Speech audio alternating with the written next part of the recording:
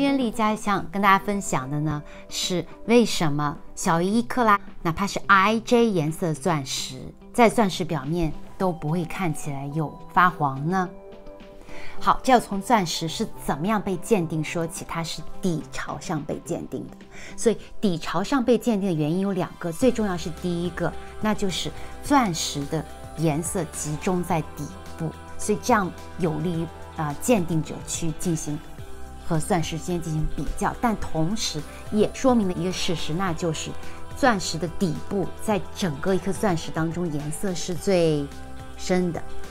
所以，good news。那么，钻石在钻石整个一颗钻石颜色最浅的是哪里呢？是它的顶部，而我们恰恰就是镶嵌起来是看到顶部的。表面的对吗？而这个地方是整个颜色里头最浅的，所以当鉴定师鉴定出一个颜色，说它是 I 的时候，或 J 的时候，我们就知道，那它是在底部最深的颜色。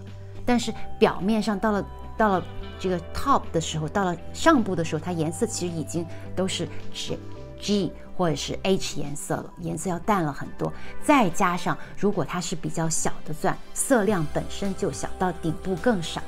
再加上最重要、最重要，就是说，如果它切工很好，颜色够，呃。